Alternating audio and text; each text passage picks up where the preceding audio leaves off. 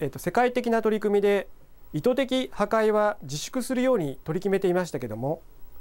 中にはその取り組みに逸脱する行為も実際には行われています。その一つの例が中国の衛星破壊兵器実験です。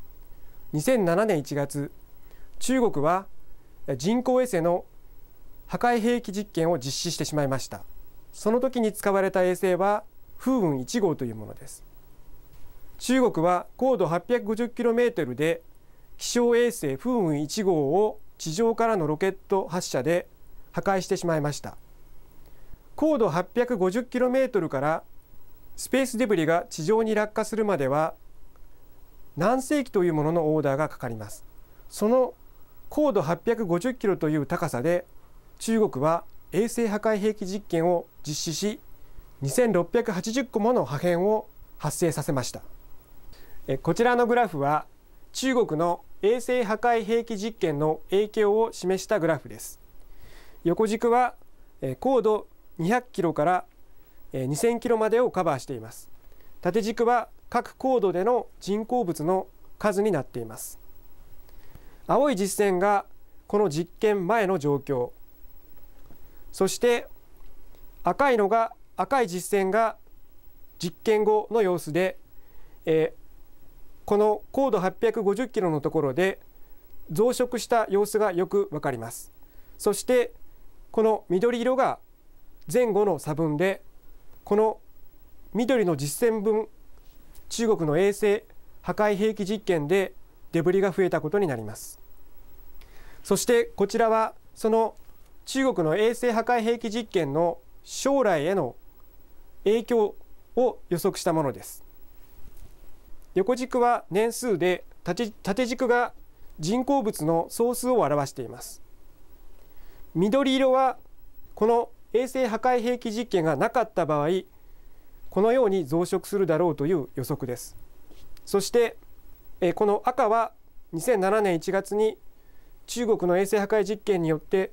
増えその後どうなるかと予測したものです。このように100年後にはこの衛星破壊兵器実験の影響はなくなると予想されていますがこれはあくまでも予測です。もしかしたら大変な事故が起きてしまうかもしれません。このような衛星破壊実験は二度となされないことを期待しています。それでは最後に九州大学の取り組みを紹介したいと思います。九州大学では大きく分けて4つの研究をしてしています。一つは環境モデルの研究。この環境モデルの研究によってスペースデブリ分布の安定性不安定性の評価ができます。またスペースデブリ発生防止策が本当に有効かどうかという評価もできます。そして人工衛星の障害衝突率の評価もできます。2つ目はデブリ除去方法の研究です。JAXA では故障した衛星に積極的に接近し導電性テザーを取り付けて除去することを考えていますが九州大学では微小デブリを除去することを考えています。ここでは発泡スチロールのような低密度物質を用いてその中を微小デブリが通過した際に減速され地上に落下するようなシステムを考えています。こちらはその低密度物質を用いたデブリ除去の想像図です。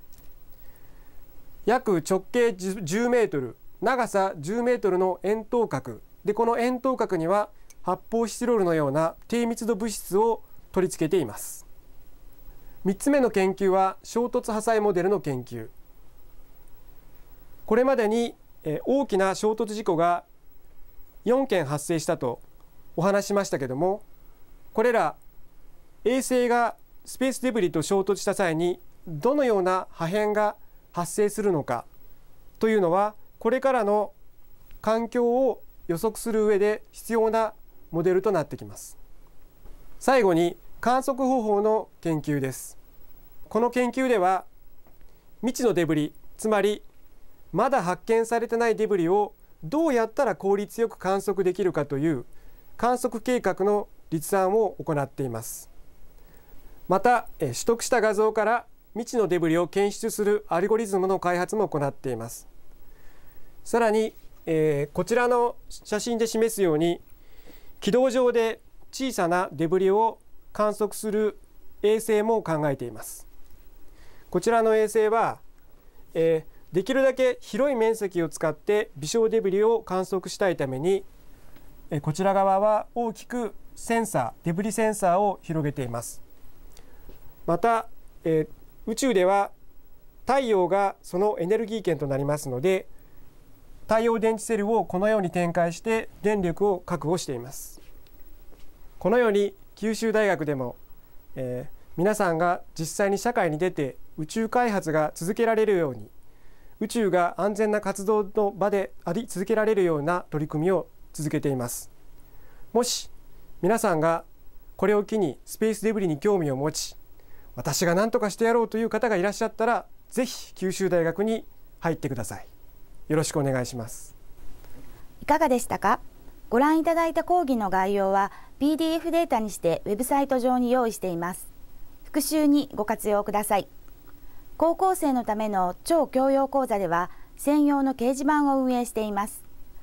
先生への質問あるいは講座を見ての意見や感想などをどしどしお寄せください。お待ちしています。